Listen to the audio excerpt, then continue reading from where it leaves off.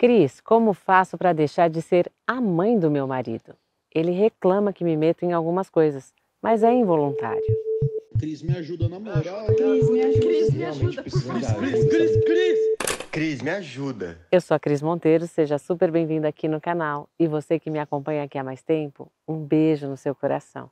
Aproveita para se inscrever no canal e ativa a notificação, porque sempre que tiver um vídeo novo no ar, você vai ser avisado.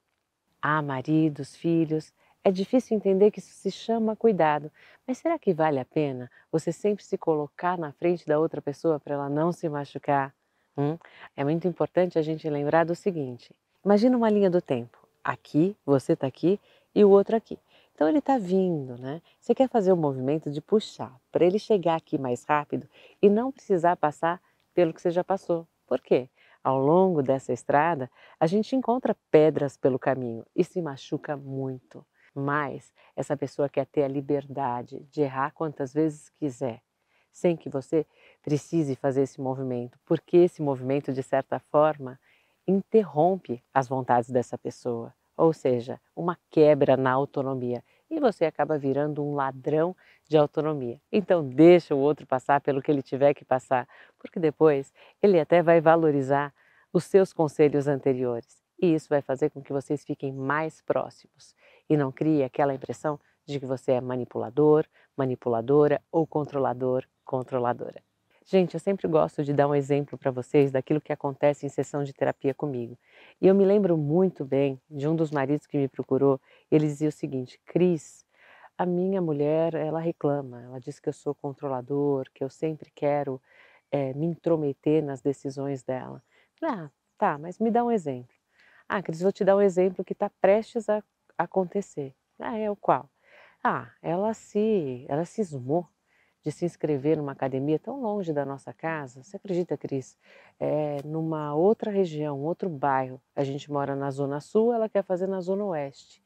Bom, é perto do trabalho dela? Não, não é perto, mas ela quer essa academia. E eu já falei que ela vai levar horas no trânsito tá, tá, tá. Enfim, eu acho um absurdo. Ela não tem que, tem que tirar essa ideia da cabeça. Falei, bom, nós vamos fazer o seguinte, né? Por que que dessa vez você não fica na sua e deixa ela passar por essa experiência? É importante que ela sinta na prática mesmo né, o que é viver com as dificuldades no meio do caminho. Por quê? Por enquanto ela está vendo o bônus e ela vai encontrar o ônus, mas é justo que ela mesma reconheça isso e não você.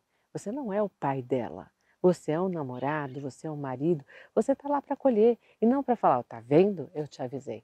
Jamais faça isso. E foi o que ele fez. Não foi fácil, né, no primeiro momento, exercitar isso, ficar fora dessa, mas ele conseguiu e ela teve autonomia para isso.